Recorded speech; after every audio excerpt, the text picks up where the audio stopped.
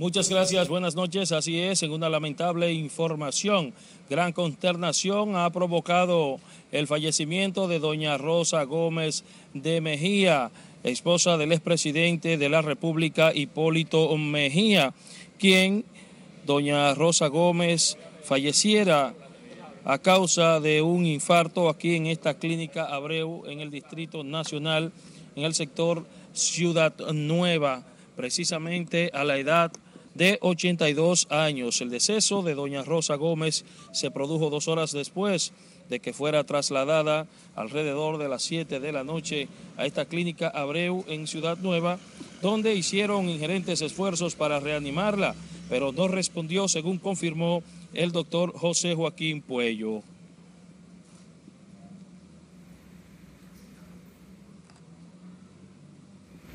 Verdad que estoy muy sobrecogido, a pesar de que nosotros los médicos enfrentamos la muerte todos los días. Pero cuando no hay alguien tan valioso como ella, más Pero Dios me Dios nos llama y ese llamado casi nadie puede decir que no. Y vivió bien y murió bien.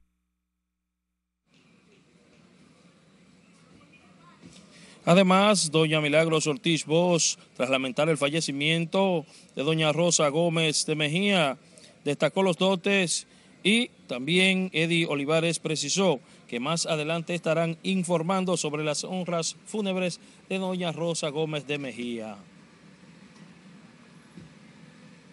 Lo que hemos eh, visto su vida, a la hora de formar una familia excepcional, siendo una suave y dulce mujer siempre estuvo del lado bueno de la vida. Estamos todos muy dolidos, algo inesperado. Ella estaba cumpliendo una función en el Museo Infantil de su creación, pero estamos todos muy gracias por la solidaridad.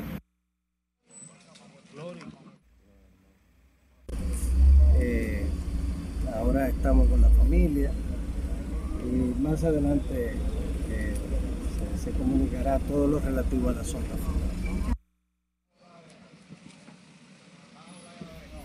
Precisamente en este momento está saliendo, partiendo de esta clínica Abreu, el carro fúnebre que llevará el cuerpo de doña Rosa Gómez de Mejía hasta la funeraria Blandino de la Abraham Lincoln, donde será expuesta en lo, las próximas horas, donde serán velados los restos de la ex primera dama de la República. Partió en este momento hacia la funeraria desde el área de emergencia de la clínica Abreu el cuerpo de la fallecida doña Rosa Gómez de Mejía y posteriormente serán velados en la funeraria Blandino luego de que sean expuestos. Destacar que más temprano estuvo aquí, por supuesto, el expresidente de la República, Hipólito Mejía, así como su hija Carolina Mejía, quien es alcaldesa del Distrito Nacional, así como otros familiares, amigos y allegados más cercanos,